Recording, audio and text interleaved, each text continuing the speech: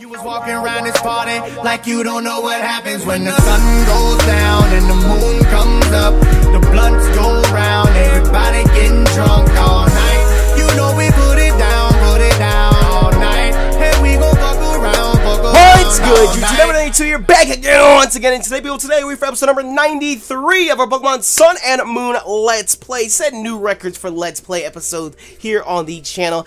In the last episode, you guys, we had our fourth, I believe, championship title defense going up against Gladion. I almost forgot. And in today's episode, we're going to see who decides to step up and challenge us next. If you guys are hyped, and of course, if you're a proud member of the Nappy Nation, make sure you smash the like button down below for us because you already know your support is greatly appreciated. And of course, you know, can anybody let's play a game with the motherfucking Nappy Nation can. Super fast mode, ah! Super fast mode, ah! Super fast party recap for those who don't know. If you do know, then I'm, I'm sorry for wasting these 15 seconds of your day.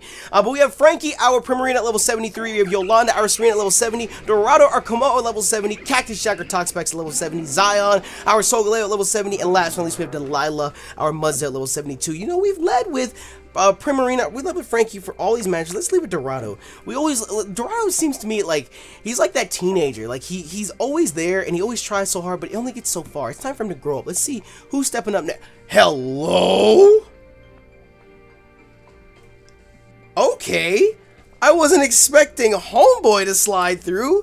I honestly wasn't. Like like I said the last episode, like I know of, of a couple names that can show up, but I don't know everyone off the top of my head. I honestly I, I don't want to spoil it for myself, but I honestly should just sit down and like make a list and go through and so I know like when I'm done. Because there's gonna come a point where I'm sitting here because like the only other person I know of is Sophocles. I, guess I should have seen Molayne coming since Molayne and Sophocles are like this. But and look, he even talks about Kukui. Molayne and Sophocles are like this, Molayne and Kukui are like this, you only get to battle him once, so I guess it makes sense. But still, I should sit down and come up with a list so that I know when I'm done, so I'm not just here soft resetting over and over and over and over and over again trying to find someone. Anyways, I came to check on what Kukui has built, and the Pokemon League is fantastic. It's a place that conveys the awesomeness of Alola to the world. And in that case, I guess that's what's important. That's, that's, that, I guess that I guess that what's important. Jesus. And I guess that what's important is what kind of trainer the champion is. I was saying that weird. It's and I guess that what's important. It's all about where you put your pauses. Anyways, focus. Pokemon trainer Molayne. Now, if I remember correctly, he's a steel type trainer, right? Because he had a, a Metang. And there's a Skarmory. K Kahili has a Skarmory, Mulane has a Skarmory. Don't tell me this nigga has a steel type Crobat. He's not an Alolan Crobat. This sucks for us. Jesus, this sucks. He's gonna Brave Bird us. Uh, I'm gonna Dragon Dance. Because I think we can live one Brave Bird from Skarmory. Because Skarmory's not, like, super offensive or anything. But yeah, Kommo-o Dorado, he always seems like that teenager on the squad. Where he's like, he's like, he's like just there. Just barely. He keeps, he keeps reaching and trying and, and struggling. And I tell him, just go all out.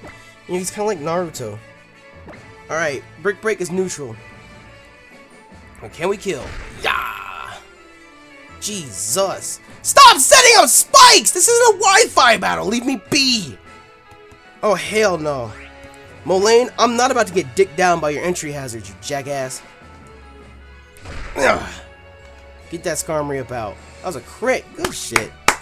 Good shit, Dorado. Good shit. I wonder if him landing those crits is 100% due to refresh or because he has the scope lens. Because I feel like... Oh, he's got a Sandslash. It was an Ice type? Oh, that nigga's about to get... Yeah, it is because it's the Ice Steel. He's Ice Steel in this game. Oh. You sneaky Steel type trainer. You, well, you are literally about to get fucking destroyed. That's quite effective, my boy. I don't care whether Dragon Dance up or not. You're getting dick down. You should have never brought this thing with you. What the fuck? But no, I was gonna say, like, like for example, it, shows a crit just now. Like, does he always do that? Like, is I, do we only get crits because of refresh, or does that animation still trigger and activate even if we get a crit from the scope lens? This thing has a Metagross. I swear to God, if this is a Mega Metagross, I'm going to shit my pants. Metagross is so awesome. I'm gonna brick break him again. It's not a Mega. Yeah. Bro. Oh, shit! Yo, we would have gotten blown back. We would have gotten blown away. Like, I know about people watching are like, oh my god, Refresh ruined this. You would have gotten blown away. Just look at that. That's fucking dope. You would have gotten blown away by that Zen headbutt, and you right, you right, but at the same time, it still gives you that, that surge of adrenaline because it's like, holy shit, what could have been? Holy shit, what could have been? Because even if you just get blown back, I'm just gonna send out Mudsdale at that point, Earthquake him. So Molayne, my dude, you tried. Steel typing, steel typing, I woo, he out he out's bed. Steel typing is kind of like rock typing in my opinion. It doesn't make for a very good like leader squad or like a leader's typing, I guess.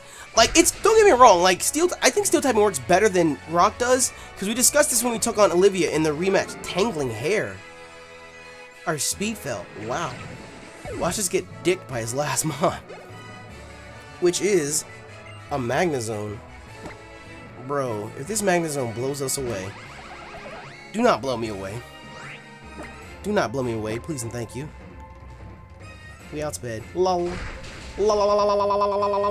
Your tangling hair wasn't enough, but you have sturdy. Bro. Oh, dog. Big dog, you tried. You really did. But Dorado is here. And Dorado, Dorado actually came through as well. I'm so proud of my boy, my teenager, my little scrappy dude comes through. I'm so proud. I don't care what you guys gotta say. You gotta be proud of Dorado. You gotta be proud. Yo, in the comment section right now, gas up Dorado. He did such a great job. Gas him up, please and thank you. Please and thank you. Please gas him up. Pokemon Trainer Molayne. That Kukui, he discovered a great trainer. His hair looks like a Rowlet. The fuck? Only 6,000. I should have sent out Zion just for shits and giggles. Just as I'd expect from an acquaintance of Kukui's. I am too I I too am proud that you are the strongest Pokemon trainer in Alola. I'll try to come hang out again. Pokemon battles with you are more fun than any game. Aw, shucks. Shucks. But still, like I was saying, when we, we took on Olivia in the in the Elite Four rematches, I was saying that rock typing just doesn't seem to be like a very good typing for like a leader to have because of how many weaknesses it has. I feel like Steel is the same way because I feel like Steel limits you so much in what you can do. I think Steel is a much better offensive and even defensive typing than Rock. It's just a better typing in general, in my opinion. Uh, but still, it just feels like, I don't know. It just feels like you can't build a, I don't know.